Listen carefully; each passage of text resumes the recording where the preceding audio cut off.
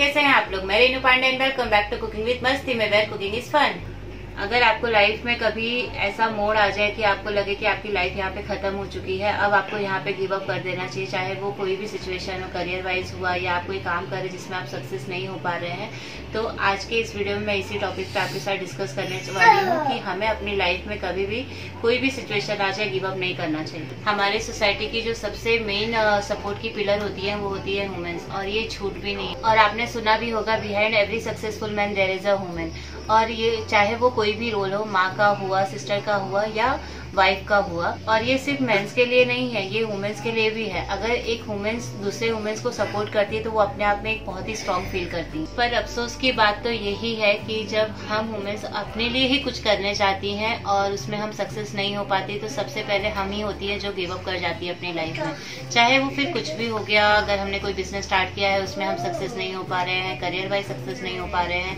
या हमारी कोई हॉबी है जो हमने स्टार्ट की है और उसमें हम सक्सेस नहीं हो पा रहे, जो हमने सोचा है वो हमें मिल नहीं पा रहा है। तो हम ही सबसे पहले गिव अप कर जाती हैं। फिर रीजन चाहे कुछ भी हो एक्सेस रिस्पॉन्सिबिलिटी हो हमारे ऊपर लैक ऑफ़ सपोर्ट हो, हम सोचते छोड़ो जाने दो, इससे वैसे भी हमें क्या मिल रहा था और हम वहीं पे गिव अप कर जाते हैं। पर ऐसा नहीं है। आपने श्री हरिवंश राय बच्चन की ये कविता तो सुनी होगी। कोशिश करने वालों की कभी हार नहीं होती है और इसके लिए मैं आपको दो बेस्ट एग्ज़ाम्पल देने जा रही हूँ। पहला मेरा एग्ज़ाम्पल है मिसेस प्रियंका चोपड़ा जोनस जो कि बहुत ही फ़ेमस एक्ट्रेस है और इन्होंने अपना करियर जो है वो टीन एज में स्टार्ट किया था, जिसमें वो मिस वर्ल्ड बनी।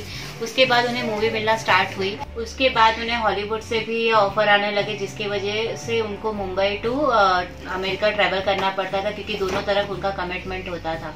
इतना करने के बाद उन्हें, उन्होंने वहाँ पे भी गिव अप नहीं किया।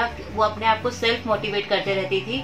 इनफैक्ट उन्होंने एक इंटरव्यू में ये भी कहा था कि उन्हें अब तो जेट लैग भी नहीं होता।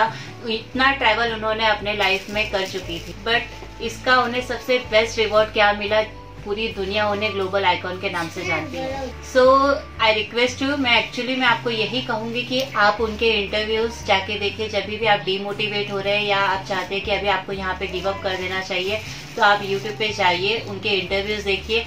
आप अपने आप में कॉन्फिडेंस फील करेंगे और आप वापस से स्टार्ट कर देंगे। और मेरा सेकेंड एग्ज़ाम्पल है स्टीव जॉब्स जो कि कॉलेज ड्रॉप आउट थे, हम सभी जानते हैं। बट उन्होंने कॉलेज में जस्ट फॉर फन या उनकी जो इंटरेस्ट होगी, उसकी वजह से उन्होंने कैलीग्राफी सीखी, जिसका फ़ायदा आज पूरी दुनिया उठा रही है। आज जो हमारे विंडोज़ में इतने सारे फॉन्ट है, जिसका फ़ायदा हम सभी उठा रहे हैं, वो सिर्फ़ और सिर्फ़ स्टीव जॉब का दिया हुआ है, जो कि उन्होंने एक एज ए हॉबी सीखा था।